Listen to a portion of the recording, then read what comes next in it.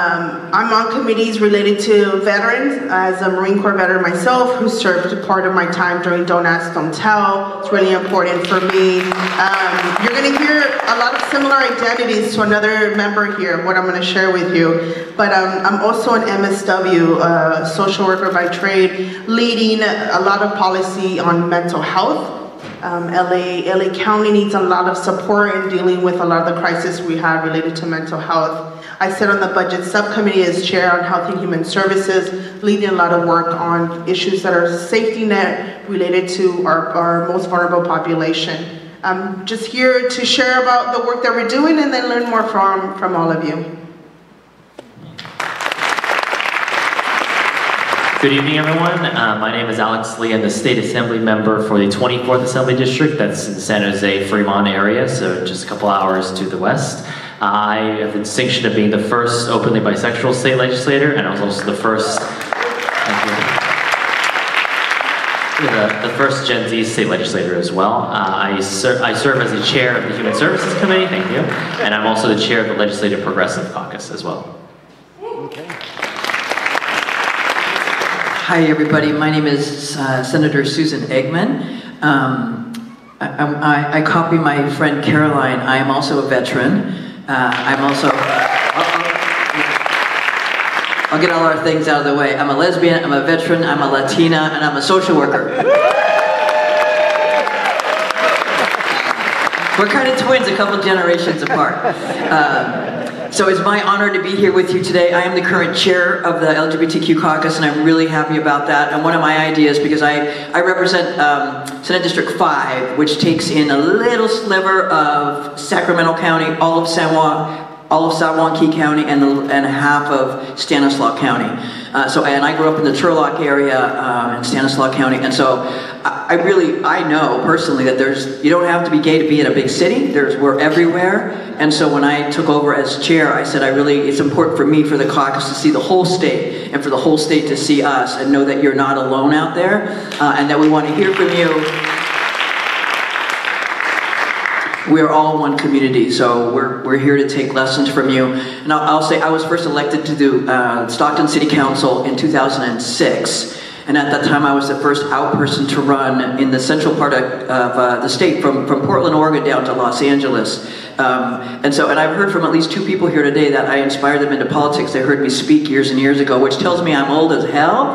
Um, but that people are coming up behind us. So for everybody here, know you're inspiring somebody else, and that's how we do it, right? We keep building the bench, and people following as we pull them up, and then they pull up the next generation. So very happy to be with you here tonight. Well, good evening. It is great to be with you all. Thank you for being here. My name is Chris Ward. I'm the State Assembly member in Central San Diego. Uh, it's the 78th Assembly District. Uh, if you uh, have ever been down to Hillcrest, a very vibrant community, uh, all the way up to Miramar and out to East, uh, East County actually is part of my district too, in the city of El Cajon, uh, right there in the central part of the, that region. Um, I've been in my second term right now. This is finished up my third year in the Assembly. I'm also the chair of the Assembly's Housing Committee, a newly appoint, a new appointment there as we've had some change in leadership. Um, a member of our California Legislative Jewish Caucus and previously also was on the San Diego City Council, really working on our, our local issues. Just really a pleasure to be here with you all tonight. I'm looking forward to some of our questions as well. And I uh, have a distinct honor, actually, of being, um, you know, not the, certainly the first from our region, uh, but in a long line of succession of very powerful and amazing leaders. Uh, now, our mayor of San Diego was my predecessor, our Senate President Pro Tem, who has a big announcement tomorrow for the state of California, Toni Atkins, uh, and her predecessor, a trailblazer, Christine Kehoe. So we've got a lot of uh, history there that I wanted to share a little bit more with you about later tonight, but grateful to be here with you uh, here in the city of Fresno. Good evening, everyone. I'm Dr. Corey Jackson. Um, I hail from the Inland Empire, city of Riverside, Moreno Valley, Perris, Hemet, San Jacinto. Um, and I am um, also a social worker. Uh, um, and I'm also the first openly gay um, African American elected to the uh, state legislature as well. Um, and I chair the um, Assembly uh, Budget Subcommittee for Human Services um, and also chair the Select Committee for California's Mental Health Crisis. It's a pleasure to be here.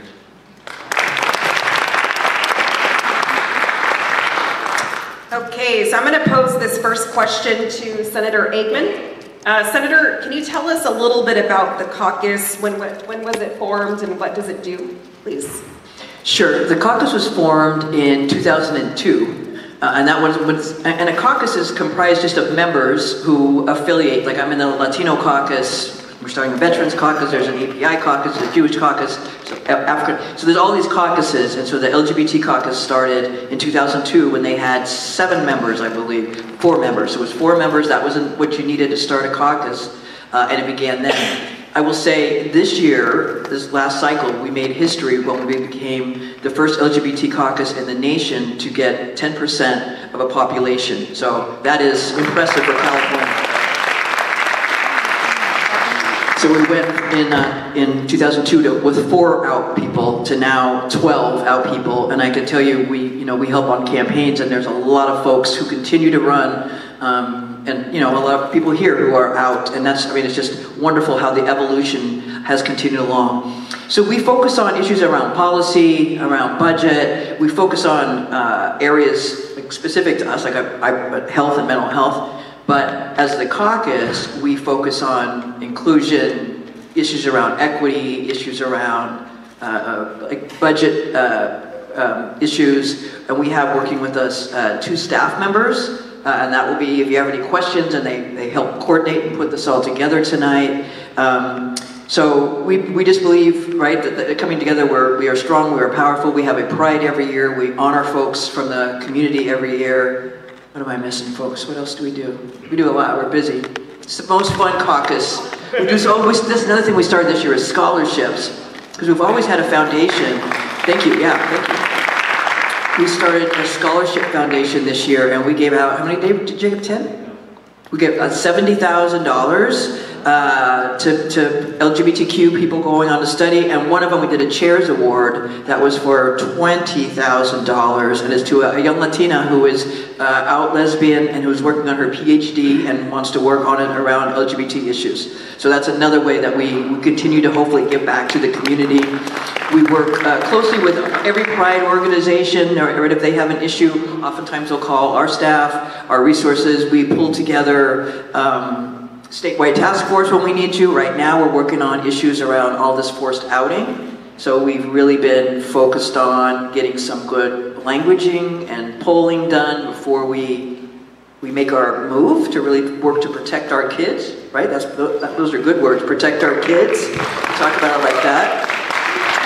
Um, but those are the, some of the things that we do very, very uh, purposefully, and we really let all the other members know that are not part of our caucus before they do some kind of bill that they think is going to help our community, please come to us first. Um, because we have a lot of policy expertise in this, and a lot of times people think they're helping and they're not really, or they're stepping in the middle of something giant that we're, you know, that we're trying to work towards something. Uh, so there's a lot of strategy involved in how we move things forward, not just trying to make headlines, but actually make changes that people can feel in their lives.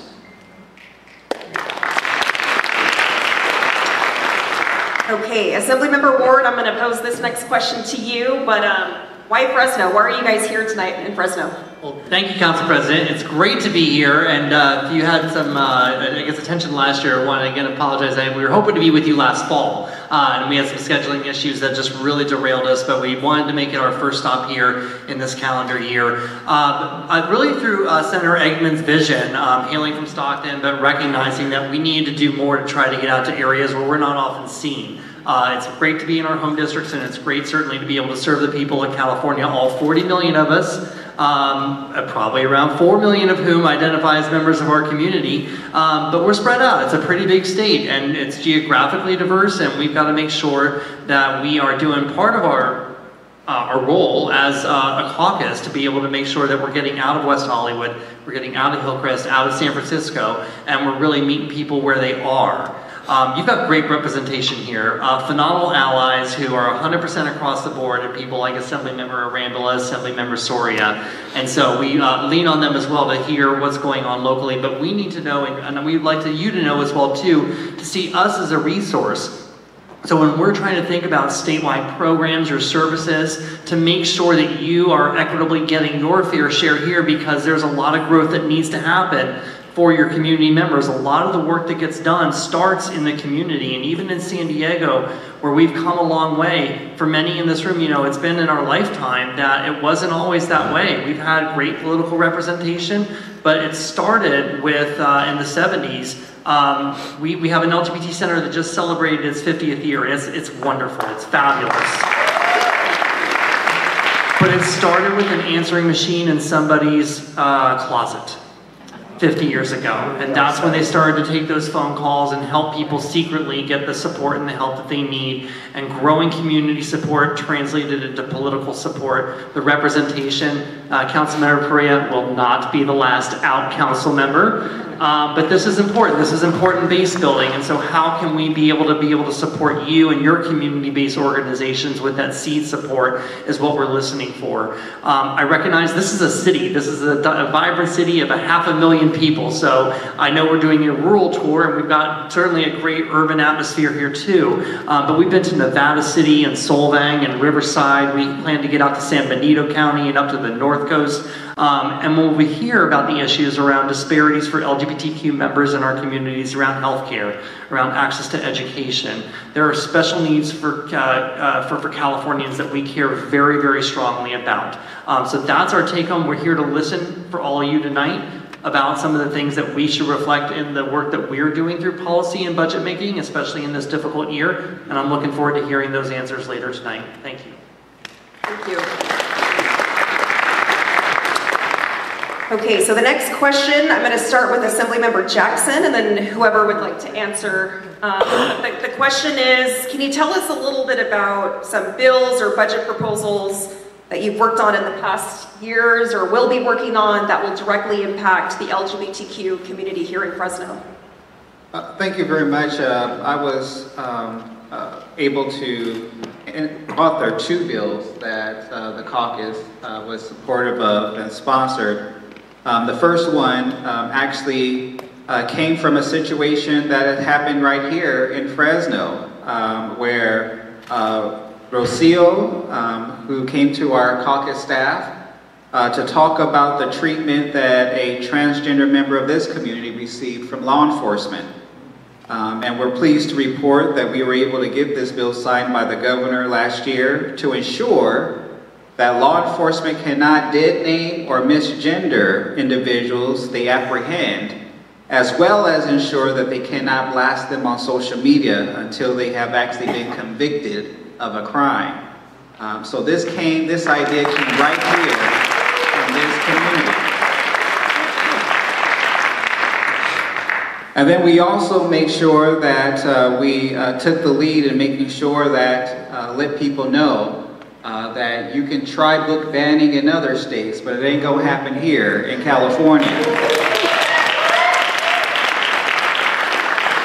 So we make sure that people, uh, school districts, uh, cannot ban books based upon what we call a protected class, uh, which basically means based upon how God made us, you cannot ban a book because you don't like it telling the stories of LGBTQ members. You cannot tell, you can't ban books because you don't like hearing the history of how this country uh, treated African Americans and so on and so forth for so many um, other communities here in California. Uh, so these are the things that we are doing um, in the caucus. And there's two other bills that we're uh, members uh, will talk about. Um, Senator Menjivar, want to talk about your bill? Absolutely. Thank you, Assembly Member. Um, in my first, yeah, please. You're doing amazing work.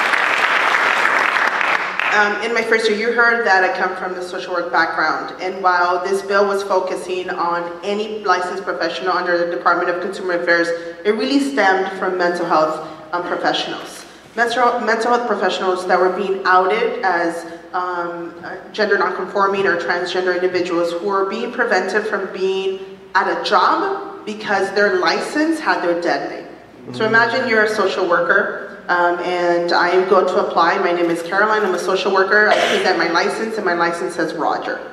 So that was continuously preventing a lot of our community members from being the very holistic type of therapists that we needed in our communities. So I'm really proud that we were able to work with a lot of our community members in getting SB 372, Respect for Names Act passed um, this last year.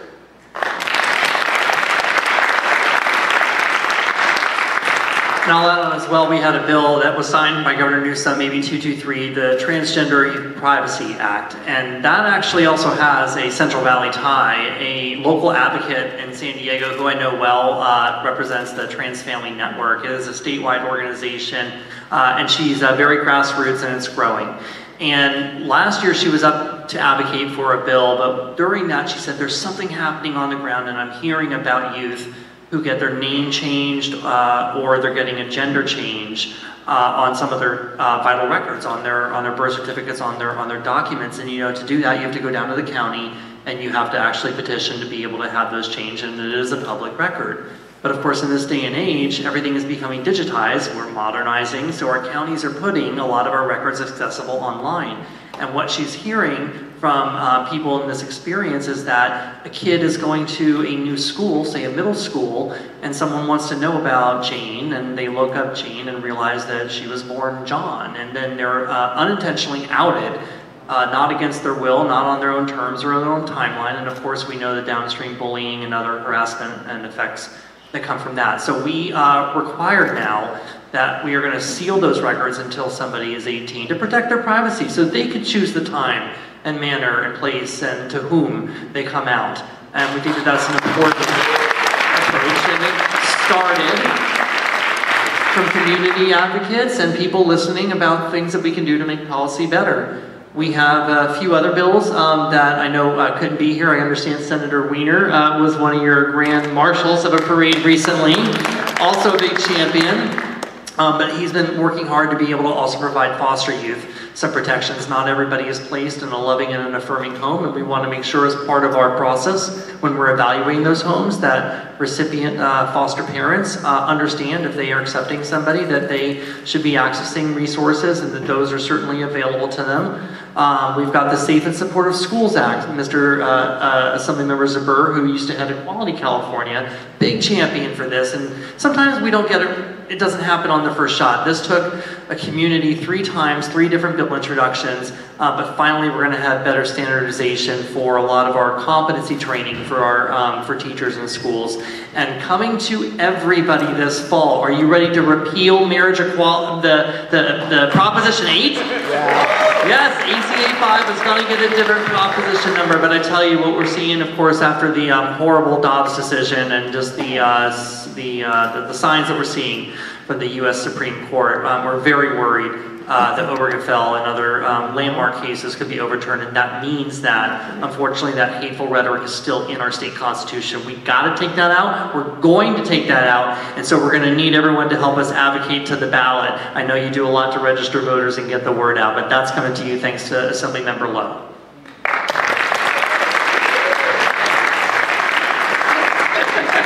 So, uh, you know, all these things, these bills that we talked about, might sound very common sense to all of us in this room and very easy. Of course, we should respect people's proper names, or pronouns, not dead name them. Of course, people should be able to be married to the ones they love, but you would be surprised, even in our California legislature today, how much pushback we get. Of course, you have your rabid Republicans and MAGA people uh, that are really, really opposed to it. And frankly, you know, I've given a lot of credit to our chair and vice chair. They do a lot of work behind the scenes to also kill bills that would threaten our community too. Those are things that are still being introduced to this day. So they do a lot of that really hard work too. So, I mean, they're grand filter in that sense. But these things sound easy to us, but still, sometimes to our frustration, there's a lot of resistance, not just from Republicans though, but sometimes Democrats don't understand fully what we're trying to do, and there's some resistance just culturally. And that's why it's so important that our voices as a caucus is in this space, constantly pushing back at these things. Because sometimes for us, we know these are existential threats, but for other people who want to be good allies, they don't,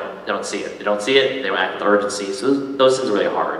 Um, I want to touch upon Some of the great successes we've had in the budget, though. In recent years, we've secured $81 million for the LGBT community, LGBT causes specifically. Um, and $81 million, just to, be, just to be very real, is a very small percentage of the entire state budget, which is a quarter of a trillion, 250 billion or so, is the entire state budget now. Um, so, but, and as, especially now as the budget situation gets a bit gloomy, we have to also make sure to protect a lot of our successes and our progress. But some of the things we've done are funding for the California Harm Reduction Initiative, so making it more accessible for folks to uh, do harm reduction services and overdose crises and health inequalities to get those services. We also have Hep C prevention testing and linkage to care. And we also um, are piloting a statewide community college LGBTQ pilot so that community colleges also can access safe spaces and resources for LGBT students. But those are just a fraction of the things we're able to do. And then, of course, on the local level, thanks to the efforts of your local assembly member, Joaquin Arambula, you secured $250 million. $250 million, that's more than all the LGBT money. But they secured $250 million for downtown Fresno development so that you can envision a future vibrant Fresno that will be connected to the rest of the state. And I just want to give a quick shout out to, like, I love working with your Assemblyman Arambula here, is that he has such vision for this region. And I have to just say is that coming from San Jose, uh, we don't really have a neighborhood anymore. It's kind of split up and become a diaspora for many different reasons. Uh, but here, we still have a sense of community and thinking forward and making sure that community can grow is so important. So these are kind of investments we want to make sure that everyone can grow, you know, here in Fresno and of course across the state, but that's the kind of work we do on the budget and the policy side. So thank you. All right, appreciate those um, remarks from each one of you. Um, the next question I'm going to give to Senator Menjivar. Um, Senator, does the caucus only do legislation and budget work? Absolutely not. I mean, I mean that takes up a lot of our time, right? I mean, the budget process starts in January and it goes all the way basically until June. It's a long process, but you heard from our chair kind of the other things that we do. You heard about our scholarship that started this year. You heard about the world tour that we started last year. We are working to activate these spaces, not just bringing resources, but letting y'all know that we're here to fight for you, whether you have an LGBTQ plus member representing you in the legislature or not, that we are 12 strong, uh, touring the state of California and let them know that this 12 strong group is holding, holding the line down uh, for all the LGBTQ plus individuals in California. We are joining different pride events. We Last year we went to Solvang after they decided to no longer raise the flag in Solvang. And we joined arms with our ally, our Senator Limon over there, to ensure that we had a presence there. Um, we're supporting all other pride events across the state of California. I think it's really important to ensure that what's happening in Washington, D.C. Um, does not happen here in California. Um, other things that we do is we sit down with the AG or Attorney General and talk about the lawsuits that are happening. We sit down with the governor as a Latino caucus, I'm, I'm sorry, that's another caucus I'm a part of, the LGBTQ caucus to talk about our priorities and ensuring that we're holding the line there. You heard about polls that we, uh, we run to ensure that we have the right messaging. On the political side, we ensure that we don't stop at 12 members. On the political side, we're looking to elevate and empower people to be up here with us on the panel, uh, Council President. Um, we are looking to ensure that we grow that number because 10% should not be the ceiling for us, it should definitely be um, the floor. And we're really took, taking a big focus in ensuring that we're protecting, like the chair mentioned, our kids. Our, our TGI youth have really been, uh, been on the front lines of the attacks. Um, we're you know, focusing on our foster youth who make up a disproportionate amount of the homeless population. Looking what we can do there. You know, you heard that you have three social workers up here. You know, we ensure that when we talk about human services, that we're really looking to uplift the most vulnerable so, you know, we support individual organizations. We highlight superstars every single June up in Sacramento. Um, we're excited about our next one this, this June. If you have the opportunity, come just, um, join us in um, celebrating amazing career individuals across California. You know, but what's also important to know is that also this caucus sometimes um, has to spank some of our other colleagues. And I'm not talking about the good spankings. I think, yeah, that was pretty cool.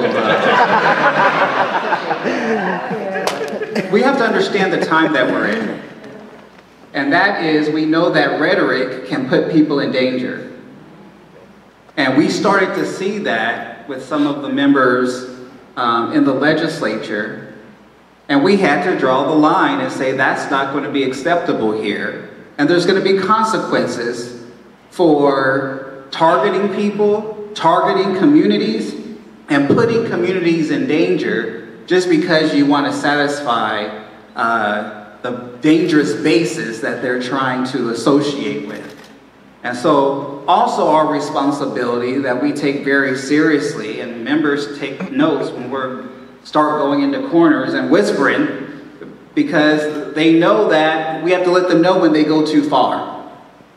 Um, and so we want to also lead by example to say, when you are starting to target people, when you're starting to advance hateful rhetoric, when you're starting to disrespect other communities, that we're not going to allow that either, and we're going to let them know when they go too far.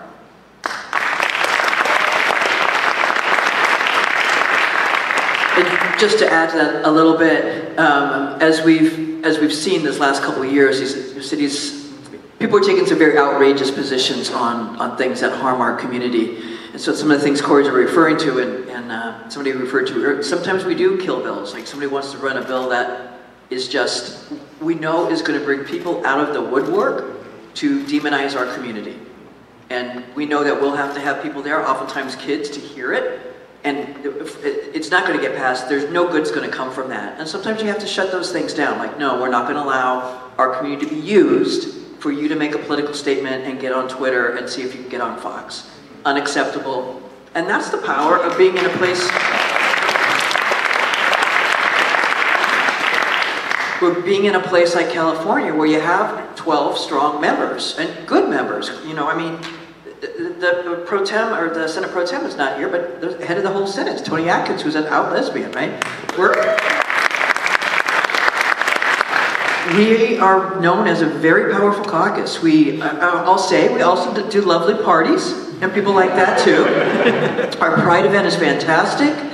Um, this just last year, we just, or last week, we had our welcome back session bash. We do a welcome back bash. It is incredibly well attended. So well attended, the Latino caucus said, let's partner. So then we had this whole diversity, unity, back to session caucus. Uh, but a lot of fun. And so really, if you have opportunity to come to the, um, our Pride event in June, um, it, it's a lot of fun. And we've, we've picked up people in the rural tour, so they're getting, they're getting more and more looking like California if you want to come and join us. Nice. And I'll add on as well too. Deserves a clap. We are one of six of the diversity caucuses recognized uh, in the legislature. There is the Women's Caucus. There is the, what you hear now, what are we at? 40%, right? We're aiming for 50%. We're at 40%. We're almost at parity. When I, when I got in a long time ago into, into the legislature, I started the assembly, I was one of 28, I think, women in a body of 120 and we, and now we're 50 strong. So not quite parity, but we're getting there. We have the Women's Caucus, we have the Latino Caucus, the API Caucus, the African American Caucus, the Jewish Caucus, and the LGBT Caucus. And we do get together as a caucus of caucuses, a diversity caucus, um, to compare it. So when they see that somebody's coming at us with a book ban, or they see that they're trying to do something to hurt any one of us, there is a shield and we circle those wagons and we support each other. And so the intersection of all of our issues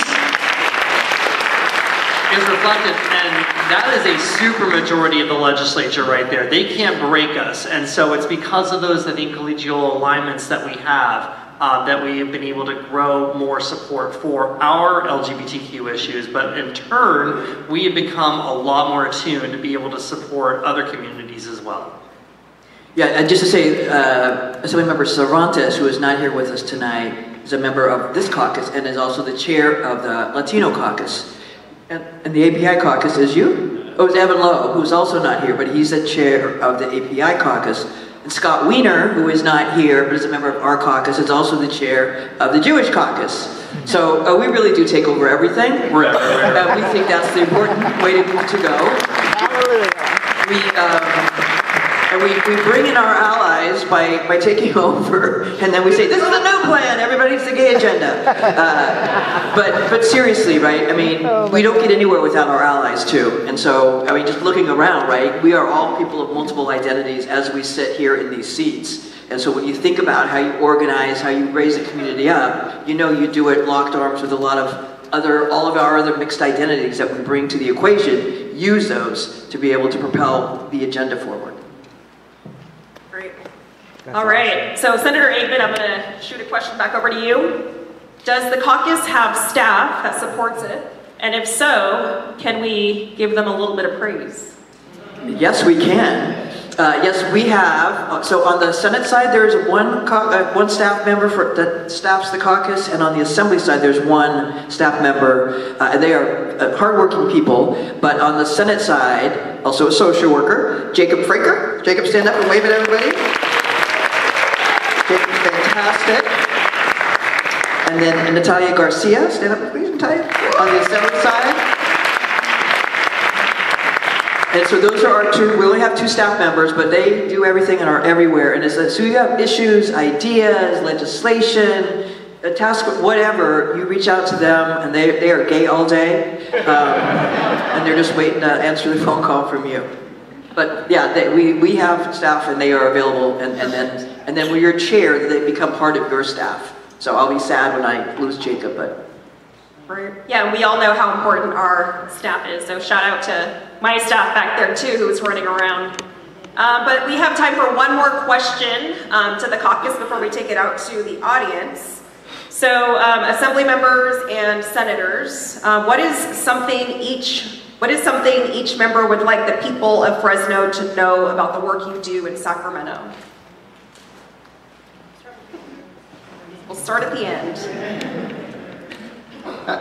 I, I think the most important thing to know is, is that uh, probably more than ever, uh, since many generations before us, is it important to really understand the importance of us truly being a part of a community. This is going to be a rough year. And what I see right now is a beautiful community. And it's going to be your responsibility to making sure that you wrap your arms around each other. Now, I'm going to tell you this. I love my sister, but I can't stand her either. But if something goes down, I'm going to have my sister's back. And that's what we have to do for each other.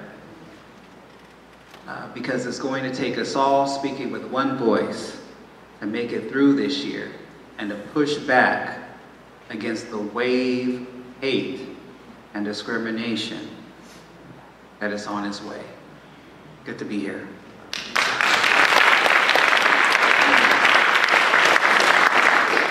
One of uh, the hats I wear is uh, now taking on one of the biggest challenges we have across the state, and that's our growing housing crisis, and of course related um, those experiencing homelessness. Yes, we have a subset that is disproportionately affecting our LGBTQ community, but so many others as well.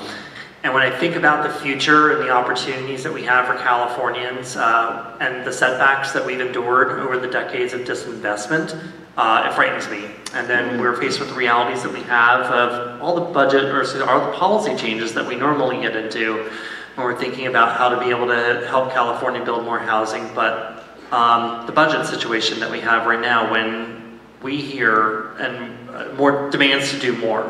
Um, and we see that, you know, a draft budget, which is far from the final budget, um, is proposing to cut things that are already underfunded and are already oversubscribed and really reflect, I think, what we're seeing from our district offices about the need for us to be able to do more because everybody's just at their wits' end.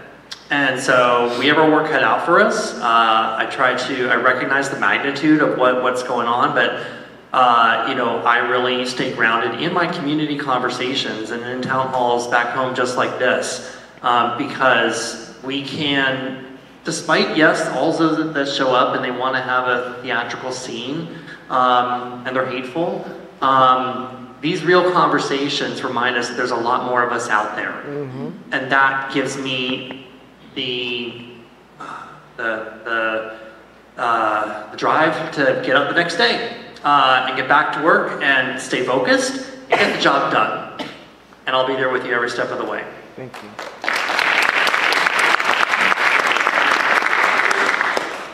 When I just sit here and, and uh, reflect for a minute, like, what do I fight for? Um, I, I think the simple word is dignity, right? I think I try to take into every situation. I said before, I'm a social worker, right? So I, we have a whole big code of ethics, but I try to break it down to, am I engaging, am I sustaining and maintaining relationships while I'm working in service to achieve a higher level of justice? Right? And, and that for me, that, that's what keeps me centered and focused and moving forward. If I am, if I am maintaining and sustaining the relationships around me, and if I'm doing that in the act of service, we get to a higher place of justice.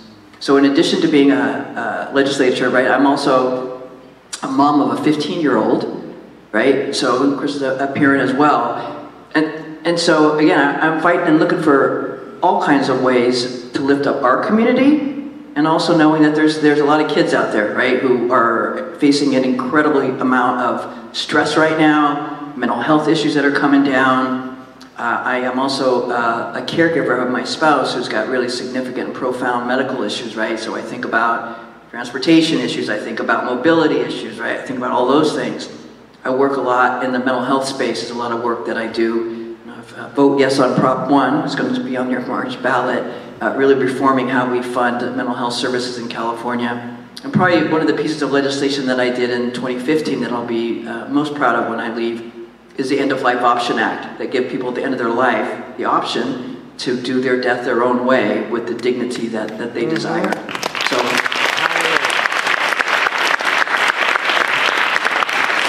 if I think about what, what drives me is that how do we break down barriers and open up pathways for everyone to be able to live their fullest life in a dignified kind of way.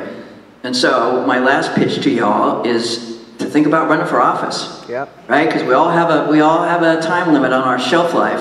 And so you always need that next generation. So don't think about who else should do it. Why not you? Why not now? Why not get out there, right? We, and we all have skeletons in our closet. Make them dance. I like that. oh my god. So I definitely would echo that sentiment. If you are in a position to make change, whether it's running for office or making some change other ways, you should definitely do it. Um, I think something I would say is especially, you know, the, almost the metaphor of the, of the Tower Theater itself, where we went to a LGBT-friendly gathering space to a not-so-friendly space for a little while, and then now a public gathering space, is that the the cycle of society right now is on the upswing. It's for us to be in charge. You know, for many people in this room and many of my colleagues and predecessors, you fought really hard to make the world accept you. Hmm. But now we are in the position to make the world acceptable to us.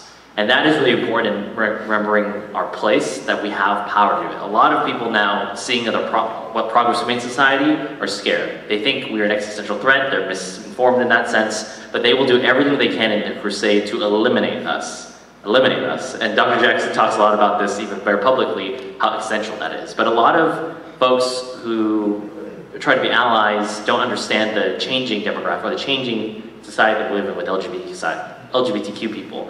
Like even people four years younger than me never have their outing, never have a coming out experience anymore. People starting just right under me, now they get to just be be who they are mm-hmm. and come and just come as they are, right? And that's a great progress we have. And now we also have companies out there that would love to sell you their products and sell you things they don't want because they have rainbows on them. They want to make money off of us instead. So, and I, I put this out a lot about rainbow capitalism is because while these companies and people want to look pretend to be our allies, we also have to hold them to the standard that they have to be there with us when times are tough. So when this might hurt your ears, but when the beloved Dodgers wanted, you know, wanted to have some prolific drag performers come, and then they're like, oh no, people are upset, we're gonna pull them out, and then they, you know, they get the backlash the other way, is that's not allyship behavior. We have to hold our allies to strong account, and that's about making the world acceptable to us. So use your power and make the world acceptable for our community. Go Giant. But that's, you know, that's a perfect example of what else the caucus does, right? In that situation, when you heard what the Dodgers were doing, two of our caucus members, including myself and uh, Assembly Member Rick Chavez Zbur, we went into a meeting with the Dodgers and we represented the caucus in that meeting and basically said this was unacceptable and I'm really glad that they reversed uh, their uh, bad decision. And when I think about the work I do in Sacramento, I think about just the importance of accurate representation in positions of power, right? Ensuring that people that have these lived experiences are being placed and uplifted into these positions, right? Um, I think about my upbringing, you know, I do have a coming out story. I do have the story of, you know, being rejected in the Latino community. What can we do to ensure we remove all those barriers for little queer kids coming up? And what protection can we embed into our communities? Where can we go that we didn't have, where can we create spaces that didn't exist for us when we were younger? Now as a, as a lesbian in my 30s, and I think about with my wife, when if, if and when we want to start a family, I think about how much is that going to cost us? You know, I've been working on a bill um, for coverage of infertility to ensure that I don't have to pay $20,000 just to start a family. We're so strong as a state in um, protecting someone's ability to choose not to have a child, but reproductive justice is also to ensure we support those who want to have a child and when they want to have a child. So that's something that we're going to be working on a lot. And you heard about, you know, different members of this caucus being chairs of other caucus, but you also have chairs of policy committees here embedded in our caucus um, of health. Housing, both in the Assembly and the Senate, is led by gay men. Um, so the housing agenda is the gay agenda right now know, leading human services in budget, and I think really taking a focus on our TGI uh, foster youth, our TGI reentry youth is a big thing that I'm going to be looking at um, up in Sacramento, and just leading with that perspective of I think about little Caroline and all the little kids out there ensuring that five, ten years, it's much more better. It's better than what we left it coming in. And my, sh my shelf life still has a long way to go. so don't run against her. All right, so at this time we're gonna uh, switch roles. They're gonna be the listeners.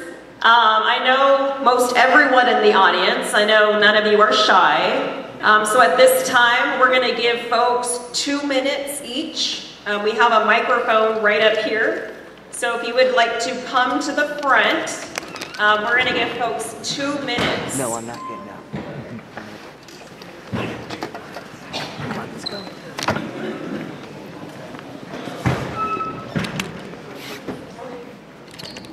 I just want to make note. Uh, so this is for Senators um, Jivar and Senator Eggman. Um, you've been talking about uh, helping out the foster TGI youth. Um, just, it may not be a question, maybe more of a statement. I'm an adoptive foster parent, and um, we're about to open our house again to foster an adoptive child, um, TGI.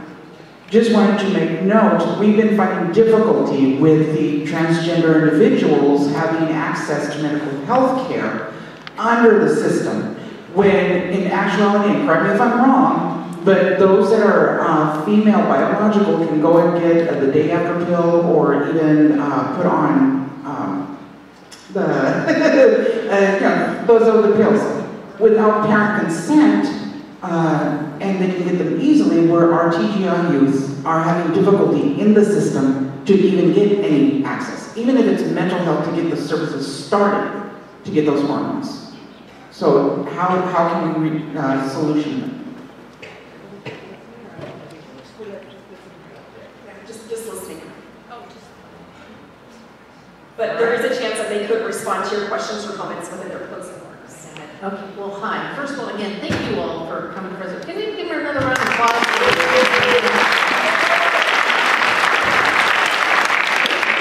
Um, around uh, what community colleges have been doing, I was really proud to be able to bring to my district, was to pay student trustees. Uh, thank you for doing that for our K-12 brothers and sisters, because students' voice should be heard. So I want to say thank you for that. Um, and this is for all of you, but also to, uh, to Chris Ward, Assemblymember Ward. We've had an experience, and we know that our LGBT students uh, are facing homelessness and housing insecure more than any other population that there is. Uh, and then you couple that with you know, being a foster youth as well. I mean, we're seeing some of the highest un, uh, just unhoused rates among our kids. And I know all of you agree on that. So what can we do uh, to help advance your uh, efforts? Because we know in California uh, we're facing a, a, budget crisis, but how can we change the culture? Maybe, maybe uh, mirror something what Vienna figured out over 100 years ago that housing should be seen as a basic human right. So if you could maybe give us some comments on how we can change that culture. I think we all want to help.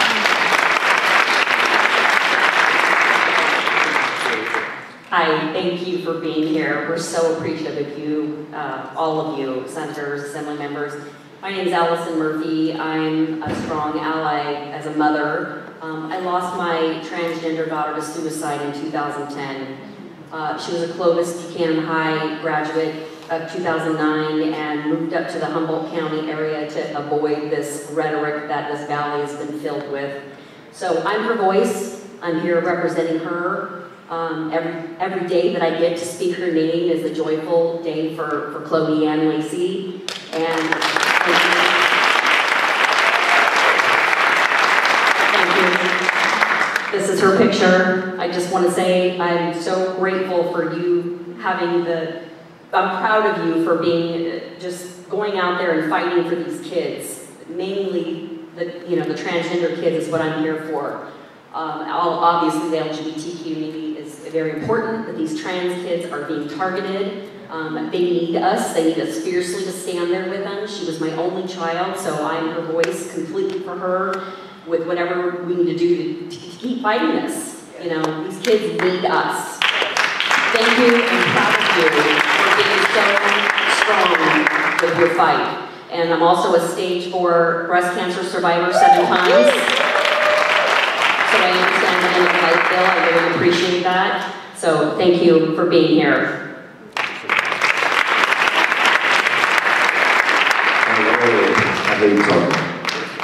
My name is Stan Johnson. I'm a community member. Uh, yes, Stan! Um, okay, uh, I work a lot with uh, black, queer, trans people. Um, so I would like to know that we're disproportionately impacted by homelessness, joblessness, everything. Um, what is the caucus doing to directly benefit my community? Because you know we have difficulties in the black community being accepted and this community. So what can we do to either inform them of us or make it a little, little bit easier? We're looking for some help, like some handouts or something, but what's up?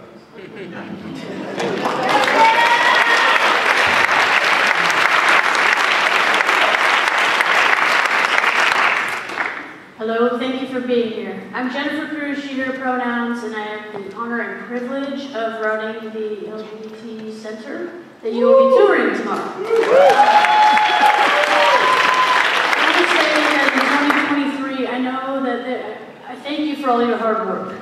Uh, here in the Central Valley, and it's the only physical space, you know, we have here in the Central Valley, we continue to see, in 2023, there were 10 different school districts that reached out to us about forced outing policies, bullying, and harassment of the LGBT youth. Uh, there is no accountability. Um, we see folks every day, no affirming health care, no affirming mental health care, no housing for anybody in Fresno. I was looking at the average rent for any room place in Fresno is between 1550 and 1650 a month. Uh, most people are making $16 an hour right now. We need help. We need help. The Central Valley is referred to as the Bible Belt of California, and we have really felt that this year, and I am lucky enough to have figured out a way to get the funding to have the five paid staff that we have, but we see folks suffering every single day Luckily, we have a supportive city council. Um, so we've seen a liaison put in place this year. We've seen triple the funding this year um, for that fiscal year 23-24. But across the board in this county, the school districts, if Clovis Unified, the second largest district, is, has this covert forced outing policy, so does everybody else. So do the other 33. I know Fresno Unified is doing a great job. Um, we hear very little out of complaints from students at Fresno Unified. But we need some accountability. We need some help. We need some affordable housing. We need affirming health care. And we're doing all we can as a staff of six. Um, I probably have some solutions, and I am running for office.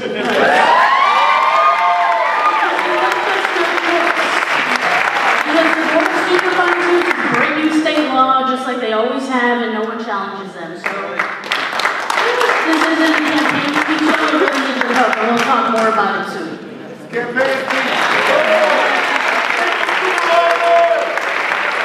Let's try to keep uh, comments to two minutes, just to be respectful of everyone we have in line. Thank you. So my name is Alejandro Sanchez. I'm the chair of the only trans-Pacific organization in the Valley named Transemotion. Um, what we see a lot is people experiencing homelessness and housing instability. Again, like echoing everyone, we need help with people who can't pay their rent, people who are homelessness. But I experienced homelessness as a trans man who was in my early transition as a youth um, at 18 to 24. And so I experienced a lot of discrimination in shelters, even in youth shelters that were supposed to be helping me, um, were not safe for me. So I'm wondering what you guys are doing for the LGBT youth who are experiencing homelessness.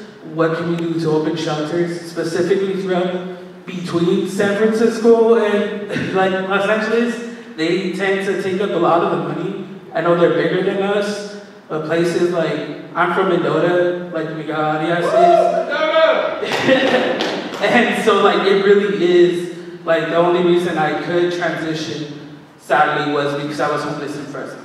And so we really do need housing for youth, for everyone, but specifically for youth because it's not safe in the foster system, it's not safe at home. Families are getting away with kicking their kids out because they're trans, like it's not fair.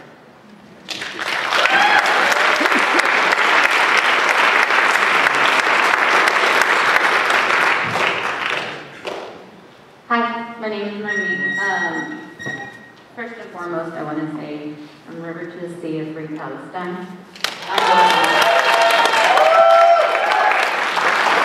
so I, a lot of folks have been saying the same things, and I kind of I don't want to spend too much time repeating it, but I want to give at least a little bit of context what I've done um, for the past five, at least five years.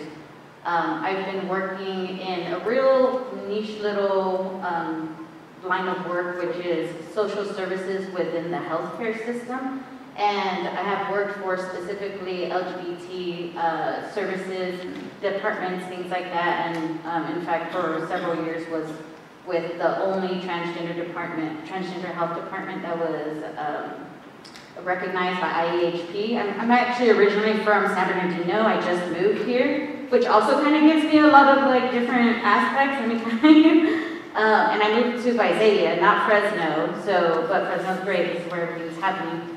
Um, but anyways, so along with all the healthcare uh, comments that folks are making, I want to say that um, I now work for a national company that provides service like LGBTQ health concierge services, and what I'm finding, I have had people who are located in this area. I am now located in this area, and what we do is we find um, affirming healthcare for folks that's safe for them to go to. And let me tell you, when it comes to rural living, um, it's almost impossible. You have to go over an hour anywhere to find um, fitting, affirming uh, providers. And I know that there are laws where, like, if you don't have someone who you can access those services from within a certain radius, then you should be able to have all kinds of other things. Now, I don't know why there was rumors, sorry, I know I'm taking time. There was rumors some years ago that the state was going to pass that every single health facility that is funded by the state had to have someone trained in LGBT services because that would change significantly the game of finding affirming care for folks in all areas. I worked all the way down from Julian, down by San Diego, um, El Cajon area, and now I'm working in a national company, and I see it. California is no different than me trying to find health care for folks in like Texas at this time. That says a lot. Um, and then two seconds real quick, also, when it comes to that and the laws behind, I mean, you're making folks having to get diagnosed with gender dysphoria in order to receive services, and they have to prove it in several different ways to get what they need. I know that's insurances, but why isn't also that a requirement, or why isn't that PHI for the kids in school who are being forced outed? Because if you're making it, if folks are forcing it to be a diagnosis, then I don't see how that is not connected to PHI if they're experiencing this gender dysphoria from the DSM-5. Thank you. How y'all doing? I'm Misty. I'm gonna keep this short too. I don't really like speaking either. Um, I'm a transgender lesbian combat veteran with the Army. I deal with a lot of veterans and active service members. Um, there's a lot of, a lot of pushback, a lot of red tape with the VA as far as mental health and gender affirming surgeries. I had to go outside of the VA for my own surgery um, about a year ago. So I'm just trying to find out if there's any direction that y'all might be able to push me in to help them. Thank you. Good evening, everybody. Kyle Robert Schmidt. I'm the Executive Director of the South Tower Community Land Trust. Um, uh, this is the neighborhood where I grew up, and this is the neighborhood where I serve. Um, it was in 1991 that I lost my father to AIDS, um, and it, that was the same year we had our first Pride Parade on Olive, so those things really tied other. It really showed that our community stands up and cares for each other, and I, I received community support as a kid uh, that I want to continue to give back. Uh, in founding the South Tower CLT, we're investing a lot in housing and parks in the neighborhood. Um, the kind of input for state level is that a lot of housing funding directs to the larger metropolitan cities with the requirements, um, and there are specific set-asides for rural, but like mid-sized cities like Fresno really get left behind, especially in neighborhoods that don't have grocery stores, don't have um, you know access to um, healthcare and things like that that become factors in how housing is scored. So really looking at um, how we can structure it so more funding comes to cities like Fresno that have been disinvested for so long and have a greater need, as well as um, looking at innovative and small new organizations um, and not requiring as much experience in other developments in order to receive funding. So really focus on um, highlighting some innovation.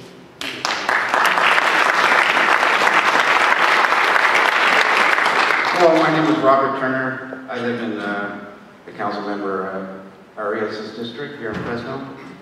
Uh, I want to bring up the, uh, on the other side of Fresno County, on the west side, there's a mental hospital that's uh, in Coalinga, and it houses sex offenders who have completed their prison terms and are now being held because they might commit a crime in the future.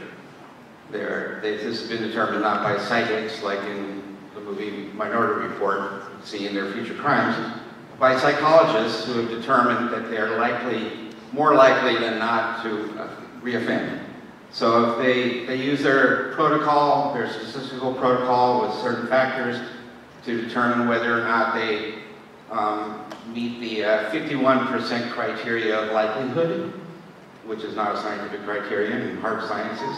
It's uh, more like 67%, but they use a 51% to determine that they're likely to commit a future crime, and then they send them to the hospital for a treatment there.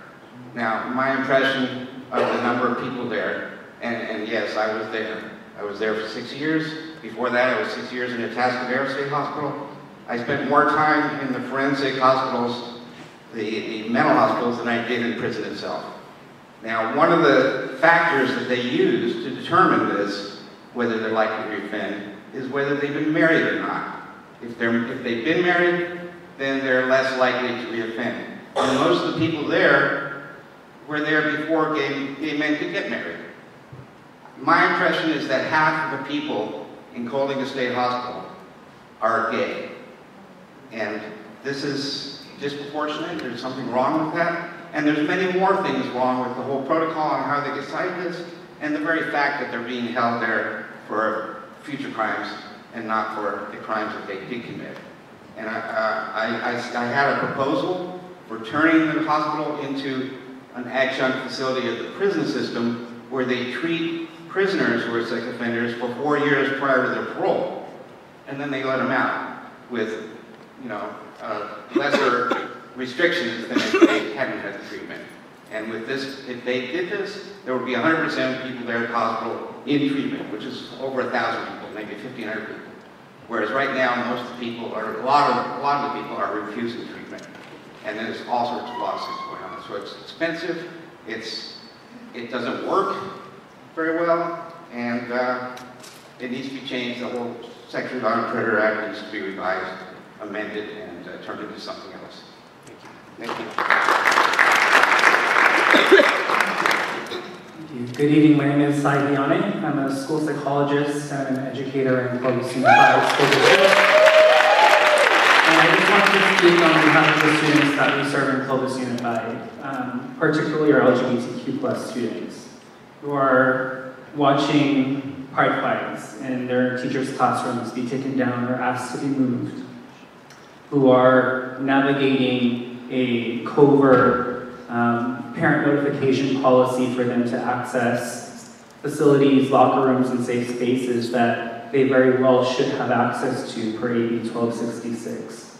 And so what I need from you and what I need from our community is your help in providing clarity in the law and the safeguards for our students, but also those protective factors for our students to know that their allies are safe, that their teachers can be safe allies and visible for them, because that's what we need right now in Clovis. So, thank you.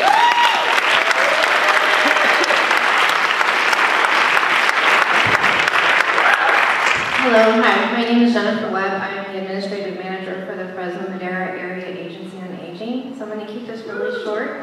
I would like to know what the caucus plans to do to help our older adults and the LGBT community.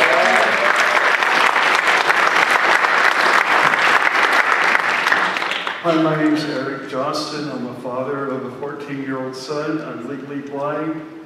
I'm hard of hearing. I'm HIV positive. Um, WestCare, California has elected to move the only HIV center that was here in the Tower District right down the street to the airport.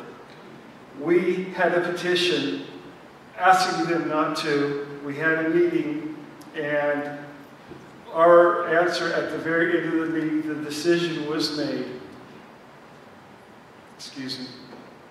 The Living Room was founded 27 years ago to be a client-based organization, and when they made that decision, they took client-based and knocked us to the side. We are asking for to get a center back, and I'm hoping to communicate perhaps with all of you. Thank you very much for your time.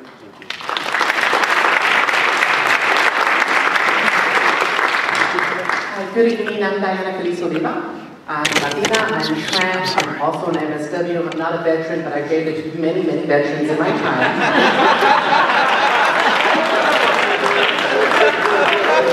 and I'm originally from Sanger, which is about 15 minutes east of here. And the last side of town. But growing up in this rural farm working valley, it was really tough for shy, feminine, awkward little kids like me in the 70s and the 80s. And so when I was old enough, I knew that I needed to leave for my safety. In 2000, January, so 24 years ago this month, I was diagnosed with HIV at the Fresno County Department of Public Health. And I was outed shortly thereafter. And so I made a drastic move of leaving my hometown to LA where I can be open and proud, living as trans and living with HIV. And then I moved to New York, I moved to the Bay Area, I live in Mexico City, and I live in Fresno. And I just founded and created the first um, Latinx LGBT center.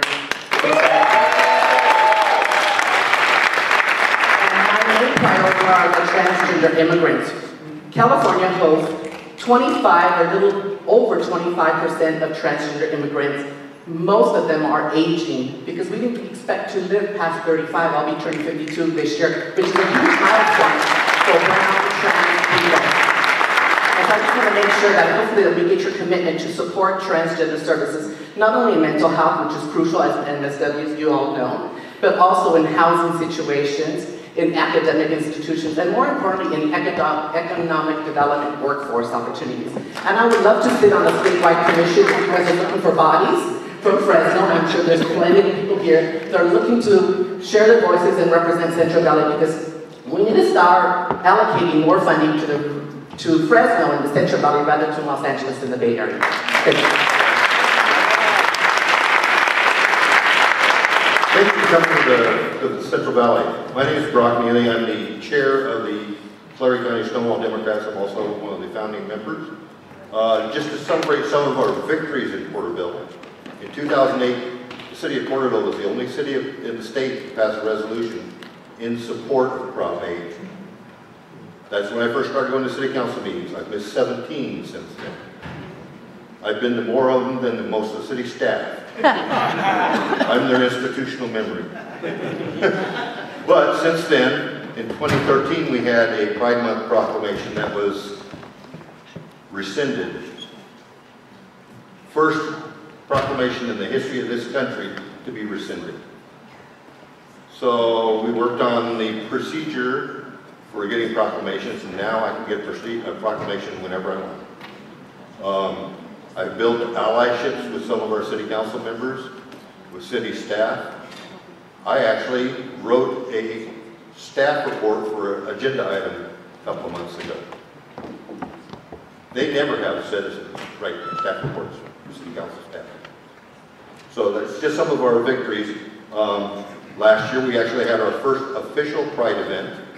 It was a uh, kind of an information fair. Jason helped put it on. Uh, thank you to Jason.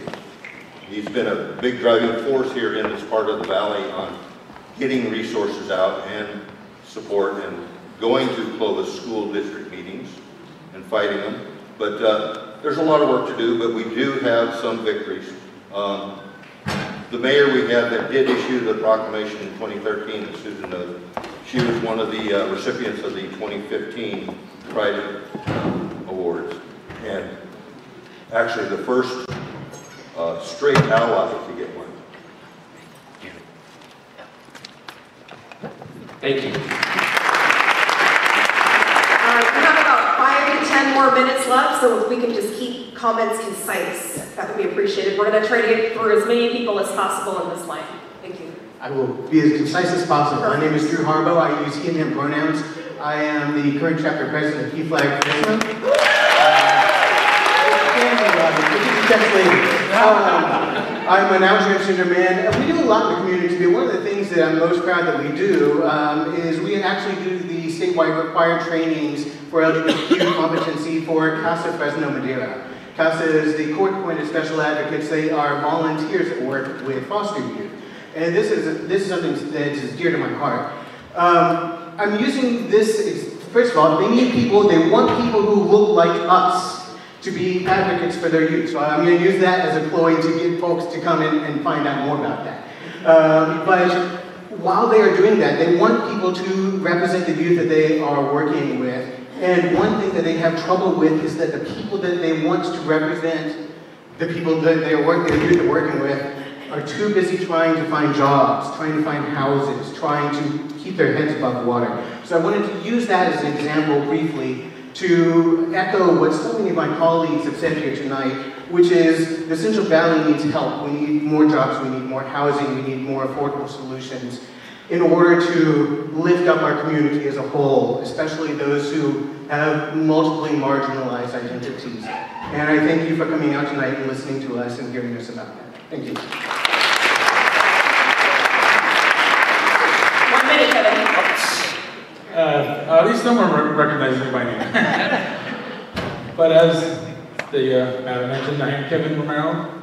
I am from the city of Mendota, from the forgotten part of Fresno County. You know, no one knows where, who we are or where we are. That's fine, I'm used to it. But I, I've heard of this and I wanted to come here and, and honestly just, you know, say thank you because it's people like yourselves and of course Annalisa as well that has inspired me to run for higher office, which I've been doing since 2016. I haven't gotten any yet, but I'm still working on it. You know? um, um, but I did get into one local position within the city. I'm actually, when I got appointed chair for Parks and Recs, I was one of the youngest appointed in the city. You so Perfect. I'm, I'm a work in progress, but I, uh, but uh, yeah, just thank you and keep inspiring younger people like me to run for higher office. Perfect. Three words, universal basic income. Buenas noches, uh, mi nombre es Ángel González y soy profesor aquí en la Universidad Estatal de Fresno, Fresno State University. Lo que les ofrezco es que tenemos que pensar de esos obstáculos a través de que no solo solamente somos una comunidad LGBT, pero que existimos incluyentemente a través de diferentes raíces, culturas y identidades, ¿verdad? Porque como todo esto, ¿qué pasa para las comunidades que no hablan inglés? ¿Verdad? Que cómo están agarrando los recursos y los apoyos que los están impactando a ellos a niveles más impactantes que a otros, que a la comunidad, que no están en la intersección de diferentes um, estructuras y obstáculos que los ofrecen a ellos y a ellos. Muchas gracias, es lo que les voy a pensar.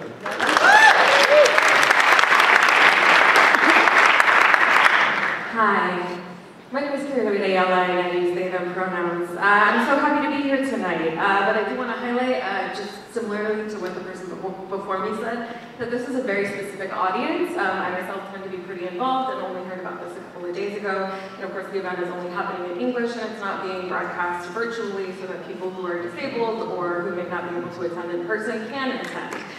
Um, and so the message that you're hearing is a very specific one, right? Um, We've heard mostly from you, and considering even the limited audience of this forum, there's been a brief opportunity for community members to share that um, I'm doubtful and discouraged that much meaning or power can be derived from this event other than representation.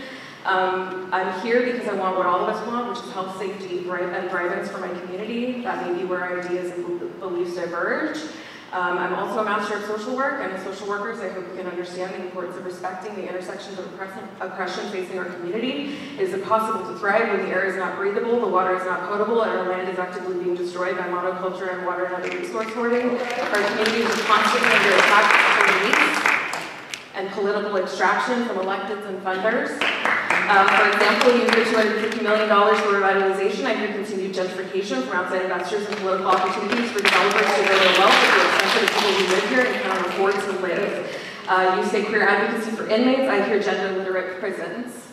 Um, queerness is a political identity, Stonewall was a right against police brutality. Uh, Jen Cruz mentioned that the Central Valley is referred to as the Bible Belt of California, which it absolutely is, and it is also referred to as Prison Alley because of the high concentration of facilities here. Renowned prison and Ruth Wilson Gilmore wrote a book that centers a complex web of extraction and uh, profit that have to do with that system, having to do right here in the Central Valley. I encourage you to read it if you haven't. While I understand that you are proud of your military service, I hope that you can also understand how deeply offensive it is to me as a, someone who lives in a community where so many people live below the poverty line, that the armed forces are literally recruiting children to participate in global genocide with promises of education, travel, and support. Uh, the United States is between my people and our third friends to participate in genocide and perpetuation of global imperialism, not the least of which is Palestine, which um, I know Senator Wiener is also on this caucus, and he's been behind closed doors meeting with Fresno Unified in order to erase Palestine from ethnic studies curriculum at the local level all around the state. I find it very interesting that he has not been here tonight. Um, over and over again, what I hear is that queer people, from queer people, is that we want to live, we need access to housing and relevant health care, we need rent control, we need investment in our community, we need poverty alleviation, we need decentered extraction, performativity, representation, and criminalization. What I would love to see is investment in pathways out of poverty that center and honor the dignity and spirit of queer people rather than the continued criminalization and exploitation of queer people who are doing our damnedest to survive.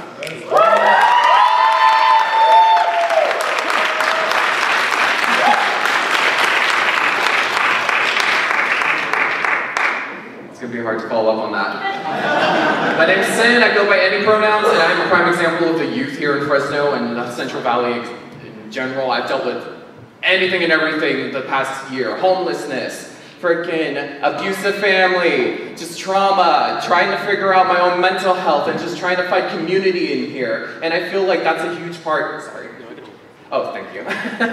um, just trying to find education because I didn't know about all the many resources here in Fresno, California, or even in the Central Valley, like were available for me, someone my age, 23. So I can only imagine the kind of stuff that people younger than me are going through, and they don't even have the resources available. So just please, please educate people around my age, my youth, because they, I cannot bear what I had to go through, and I can't even say it right now, but just please protect the youth because they're the next generation and we need to guarantee them.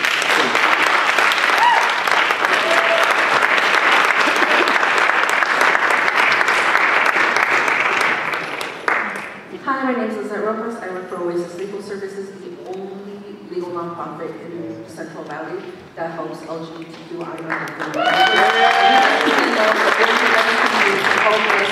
battle because so many of my clients they have to choose between being Latino or being queer because in Fresno cannot be both and they've been struggling so hard. They have been unable to get mental health access.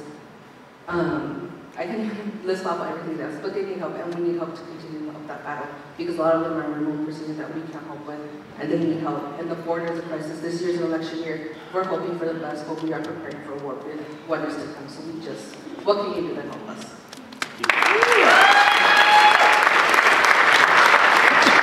Hi everyone, my name is Vassar Main. I also work with Oasis Legal Services. I go by they them pronouns. I'm a proud queer, mom, non-binary, Fresno uh, native here. And so I just had a couple questions that I had written down earlier. So a couple things I'd like to know more about is, what is the caucus doing to support Californian queer immigrants and asylum seekers?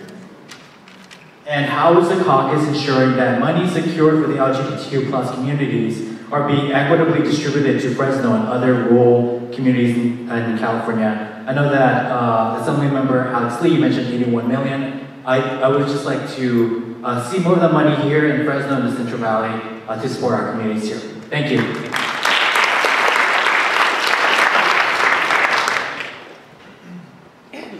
Hi, my name is Lucrezia Fabla. I uh, left Texas and moved here last year um, off of a lot of luck and privilege, basically. I got a disbursement from a lawsuit that allowed me to actually just start over and pack everything I could into my little Buick of my life that would fit into it.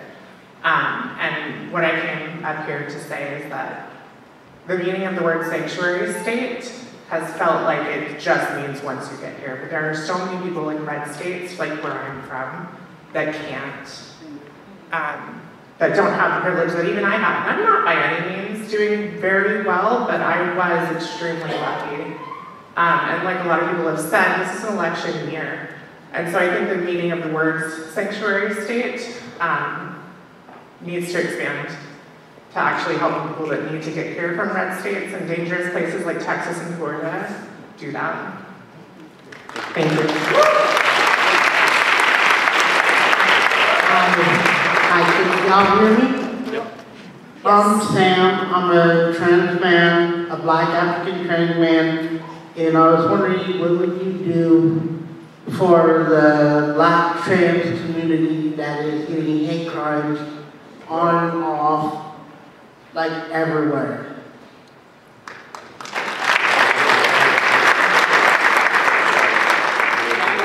We're going to take our last speaker. Here we go.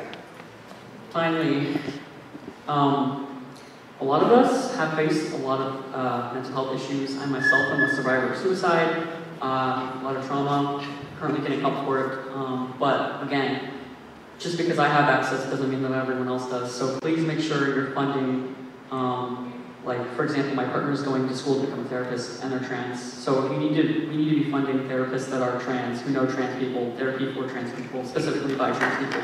Another thing is, um, we need to do something to, to lower the murder rates and hate crimes against trans people, um, especially for cutie QTPOC and um, BIPOC and all those um, people. And I think that, you know, it's one thing if you say the cops support us, but the thing is, is over and over, cops don't really support us, and I don't really think policing is the solution. Um, so maybe consider more community funding towards like psychological services and. Florida police, police budgets. I appreciate that. Thank you.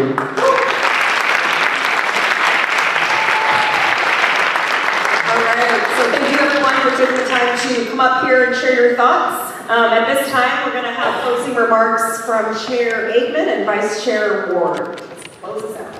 Thank you. Thank you for everybody who came tonight and for all of your participation and everybody who got up to say something. Um, Jacob and Natalia were taking notes on everything, while we can't answer everything um, tonight. I mean, the issues around trans kids, it is, it is, we are, we are zeroing in on that. Um, we have tried to provide a lot of funding and guidance, and on the school issue, we're, we, we, we, we have formed a statewide advisory council. If anybody's interested in that, you can talk with Jacob and Natalia after uh, to really be able to do just what we're talking, you're talking about, like making sure we're not just talking to cities, but we're talking to smaller communities and getting all of that input as we frame what that actual policy piece, because again, we are state policymakers, right? So we do the policies at the state level, and one, a lot of the things that folks were talking about were things that we work on around housing and funding for those. And I'll say, well, Fresno feels like you feel like you guys get left out. From Stockton, we feel like y'all get everything, right? I mean, so it's all it's all relative to where you sit. And I, and I just I don't know that I can stress enough. Representation matters, right? You have good members in in um, in Sacramento. I looked real quick at your board of supervisors who are the ones who pull down your mental health money, who pull down your foster care money, who pull down your housing money. I don't know what their party are, but they're all white men. Well, uh, but I'm saying those are your elected leaders at the county level. I'm not. I'm, I'm, just, I'm just saying, run for office, right? You got to run for office. We got to get them out. We got to get them out of the way so we can actually serve the community in the ways that need to be done. Um, so, so just to, say that, right? I mean, a lot of the, the issues that you're talking about, we are we are doing our very best to focus on. Again, we we do statewide policies. A lot of that money, those services, all need to be delivered at the local level. Um, so you got a council member here, you've got assembly member here uh, to be able to work on the, the individual issues that you're talking about. Um, but everything else that you talked about, we are taking notes and are the things that we continue to work on. And please check back with us. Don't just think that today was a one and done. Check back with us, stay engaged with us, and continue to be able to partner with us in ways that really make a difference, right? Um, if people feel like coming here tonight was just like a, a one and done, I mean, you know, that's not it. We are here, we are we feel like we are representative of from all over the state as parts of community just like yours. Uh, and if you have a community meeting in everybody's community, you're going to hear many of the same issues, right? Because these are the issues facing California around healthcare, around housing, around immigration. Of course, ours are more special because it's around trans issues a lot of times, or LGBT, where our family supports aren't the same potentially as others and from other communities. And of course, the, the local, the, the vitriol that is taking place around this country right now puts, puts a fear in people like, I think, but I think we need to, to kind of, those of us who have been around longer, or that, that, that time goes so fast and so slow at the same time, right? Like, like I was not in, uh, I graduated from high school in 1979, so not lesbian, right? But I certainly wasn't out. Uh, and I would say now, if people are, are, graduating, they're able to get out. There's clubs. So while that's right, things happen really. Go, if time goes fast, it also goes slow. And so, and that, all, all that to say is that maintain your hope, right? As oftentimes it's, it's easy to get immersed in the things that are wrong, but let's also give give power and give strength and that voice to the things that we do so right, right? Because everybody in this room is a survivor, and everybody in this room is beautiful and thrives and has so much to offer to each other and to the community as a whole. And we do that, as Corey talked earlier, about having each other's backs and staying together and continue to be in spaces where people are gonna be, going to be angry. It's just going to happen, right? But you have to be able there and experience the words, experience the pain, and then find ways that we come together to make things better. So um, it has been our honor to be here. Uh, oh, the survey. Who asked about the old lesbians, the old gays? Um, the Department of Aging, uh, there you are, the Department of Aging, somebody else asked about the old folks too. The Department of Aging, for the first time ever, I am an old folk. The old folks, we are seniors, I'm leaning into my wisdom The Department of Aging is uh, doing this first-wide survey on LGBTQ issues. So for the first time ever, we're doing a statewide survey on the experience of older adults and what they need. So please go to that website. When we get the actual live link, we'll make sure we send it out to your locals. Hopefully we get it out all over the state so we get representation from places like this. And we're also working on, again, as much as we focus on youth, uh, we're also really focusing on uh, older, especially older lesbians, are the number one folks going into homelessness these days and facing a huge amount of issues. So we're trying to look across the lifespan, and again, we're on the policy areas that we focus on, and local politics matter, right? You got an out ally, out uh, council member that is fantastic, right? You may not agree with every policy any of us has. You don't have to, but you probably don't agree with yourself all the time. If you're serious, um, or certainly your spouse or the people that you live with, right? So find the ways that we are alike, find the ways that we are, that we can come together and continue to make our, our community powerful and strong and loving and accepting for all of us.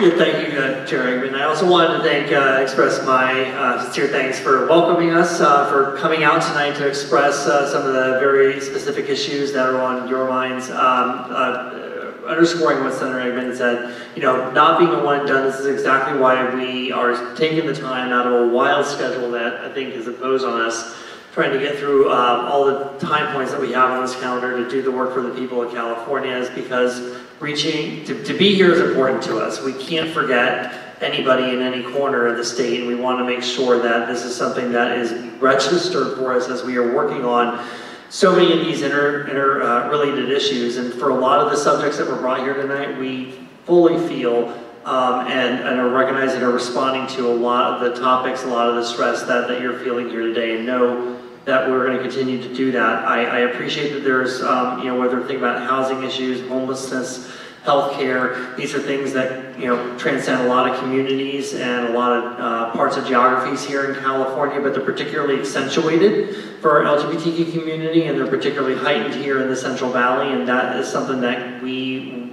we, we need to stop and take a moment here and recognize that, to go back to Sacramento and make sure that that's not forgotten.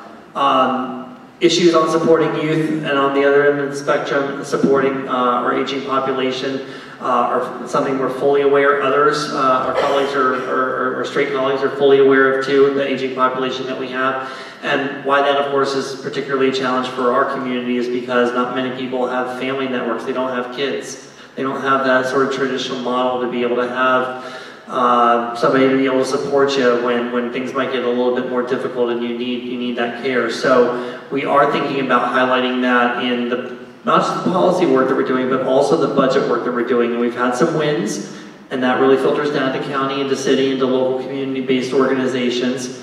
Um, but we haven't always had wins. I heard uh, we heard a lot of issues. Thank you, everybody. But you know, are we doing something on uh, supporting transgender asylees? Actually, yes. Uh, we had a, a big uh, request last year as well, in a, despite a $30 billion deficit, um, to support trans asylees as well as transgender uh, entrepreneurship, um, and a lot of other efforts that unfortunately didn't make the cut with negotiations uh, with, with, with others as well. But we'll keep going back and we'll continue to fight for exactly what we're hearing tonight.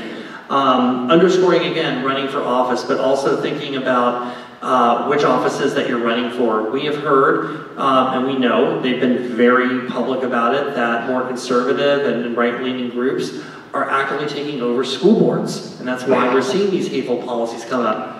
And those are the ones that are under the radar. It's not always easy to know on the ballot because it doesn't say who's a Democrat or who's a Republican. So we have our work cut out for us to try to, we were years behind. Equality California runs a great training institute available to you to be able to get some basic tools about how to do community organizing and how to work, how to run and how to win. And so I encourage, yes, supervisors or council members, great, uh, great and important offices with a lot of influence, but there's so much down ballot that sometimes goes unopposed because nobody will even challenge those status quo